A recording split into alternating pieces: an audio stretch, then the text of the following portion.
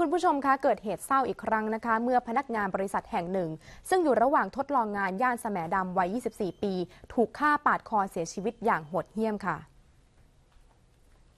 เหตุสะเทือนใจครั้งนี้เกิดขึ้นในซอยสแกงาม 26 แขวงแสมดำเขตบางขุนเทียน กรุงเทพมหานคร พบศพหญิงสาว สภาพเปลือยกายท่อนล่างเสียชีวิตอยู่บนถนนลูกรังท้ายซอย บริเวณข้างรั้วลวดหนามห่างจากทางด่วนพระประแดง 100 เมตร เจ้าหน้าที่พิสูจน์หลักฐานแพทย์นิติเวชโรงพยาบาลสิริราช ตรวจพบถูกของมีคมปาดที่ลำคอ และหน้าท้องด้านซ้ายถูกแทงสองแผล ตามลำตัวยังมีรอยสักบนแผ่นหลัง และรูปนกอินทรี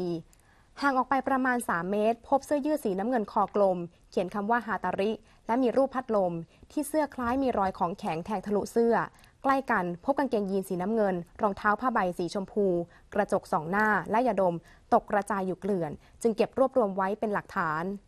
จากการสอบสวนนางจิตทิพย์พรมสุรินอายุ 55 ปี รองประธานชุมชนวัดสแกงาม ผู้พบศพให้การว่าเมื่อเวลา 5 นาฬิกา 30 นาทีที่ผ่านมา ได้ขี่รถจักรยานยนต์ออกจากบ้านพักซอยสแกงาม 28 ไปซื้อกับข้าวที่ตลาดบางกระดี และขี่ลัดมายังซอยสแกงาม 26 จึงพบศพผู้ตาย ทางด้านพลตำรวจตรีจิรพัฒน์ภูมิจิต ผู้บังคับการตำรวจนครบาล 9 เปิดเผยว่า ผู้ตายชื่อนางสาวทุเรียนยอดคำทุย อายุ 24 ปี เป็นพนักงานทดลองงานของบริษัทย่านนั้น ให้รอผลตรวจจากทางแพทย์และกองพิสูจน์หลักฐาน เพื่อยืนยันหาสาเหตุของการเสียชีวิตค่ะ